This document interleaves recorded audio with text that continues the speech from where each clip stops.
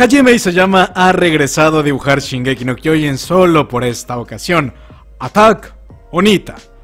Ha salido a la luz unas nuevas ilustraciones de Shingeki no Kyojin y su universo alterno.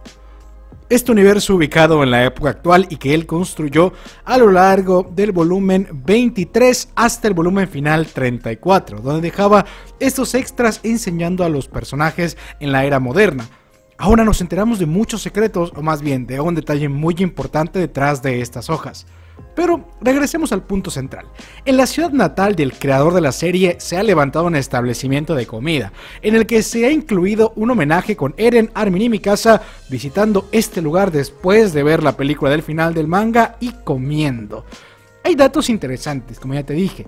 Isayama confiesa que no está acostumbrado a dibujar la era moderna actual, por lo que se le dificulta muchísimo retratar los detalles de la modernidad en el manga que incluso realizar estas ilustraciones le llevó 10 veces más trabajo, o sea, más complicado que dibujar y publicar la serie regular por los detalles de la locación, el fondo y demás, lo cual es bastante curioso por su parte. Acá se resume un poco la información de la serie y claramente no forma parte de la trama ni nada parecido, pero es un extra muy divertido como él ha regresado a dibujar la historia por una pequeña ocasión. Además de que es el cumpleaños de Hanji y hace poco fue su cumpleaños, por lo tanto tiene un sabor especial. En Ita, la ciudad de Isayama, se encuentran las estatuas de Eren, Armin y Mikasa, inauguradas cerca de finalizar el manga.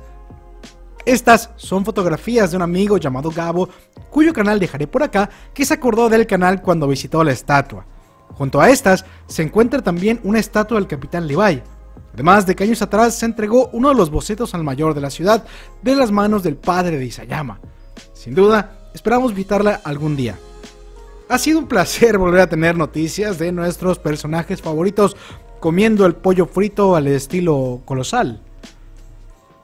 Hablando de mangakas y cosas del medio, ha salido también otra noticia distinta pero igual de emocionante, y es que el manga de Berserk va a seguirse publicando o al menos tendrá un último volumen póstumo después del sensible fallecimiento de su autor Kentaro Miura se ha anunciado que el volumen 41 saldrá a la venta en diciembre como a él le hubiese gustado, y que también se publicará una historia original llamada Dunraki, la cual se venía planeando desde hacía tiempo atrás con sus asistentes.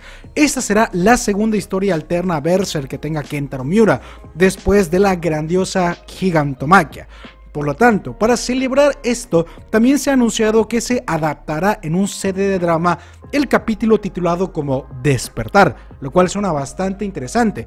Vendrá como una especie de ova en la edición especial de este volumen 41, así como también con esta historia alterna.